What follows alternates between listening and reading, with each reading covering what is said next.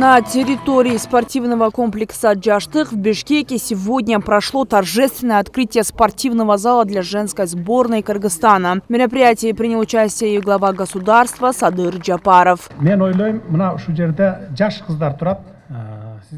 На сегодня девушки-борцы являются такими же смелыми, мужественными и отважными дочерями, как упомянутые выше девушки-батыры, которыми гордится кыргызский народ. Однако у девушек, которые прославляют Кыргызстан, не было своего спортзала. В связи с этим я взял под личный контроль строительство спортзала для женской борьбы. үлгү боло турган адамдарды кийинки муун өсөт Отдельный женский зал был необходим, об этом сказала и серебряный призер Олимпийских игр Айсулу Таныбекова. По ее словам, спортивный комплекс действительно построен в современном стиле и есть все условия для тренировок и сборов.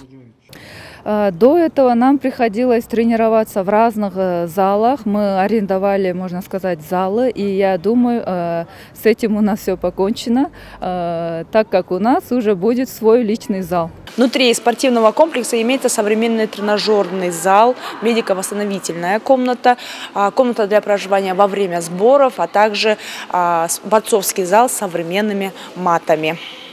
А также расположены комнаты для отдыха, размещения, потому что у них проходят часто наши девочки ездят на совместные сборы, как в дальнее зарубежье, так и ближнее зарубежье. Теперь они хотят совместные сборы здесь проводить с другими командами. То есть вот здесь вы увидите уютные, хорошие спальные номера. И на третьем этаже находится комната для теоретических, тактических занятий.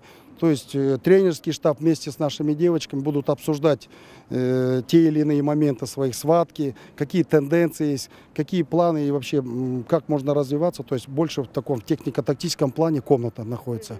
И на сегодняшний момент затрачено э, 84 миллиона 837 тысяч сомов.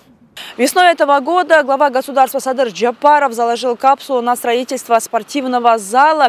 На строительство ушло около пяти месяцев. Тогда же глава государства отметил, что отсутствие современных тренировочных залов – это одна из нерешенных проблем. И вот сегодня прошло открытие данного спортивного комплекса, и он уже готов принимать новых будущих чемпионов. Рахат Батрибекова, Джумава Исманалиев, СТВ, город Бишкек.